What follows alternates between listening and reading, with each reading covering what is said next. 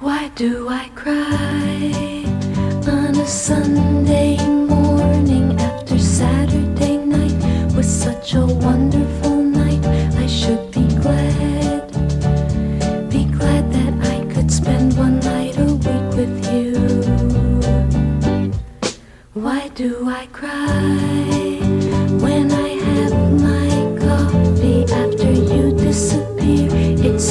almost a year that I'll be sad, so sad to only.